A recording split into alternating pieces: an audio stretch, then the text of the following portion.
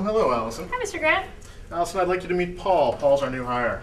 Alison's been with us for the past six months. Welcome, Paul. You're gonna love it here. Alison's been doing some great work for us. It's a really fun atmosphere, and we take off early just about every Thursday and Friday for a little happy hour. you know, disregard that. and you know, everyone comes in late on Fridays because we're hungover as shit. And disregard that. oh, and the winter ski trip is an absolute shitstorm. I cannot even tell you how much E we did last time. I was tripping my balls off. Dis- what? Oh, I was totally off my tits. Oh, and every Wednesday at three, there's a little sex in the mailroom. You should probably grab a partner soon, or people will start to think you're gay.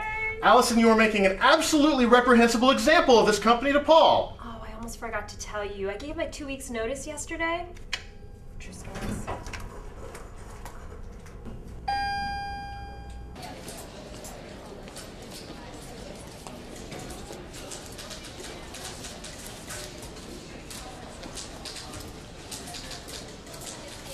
Runaway Box. Hey, we're moving to a new YouTube channel, youtube.com slash runawaybox. You should come with.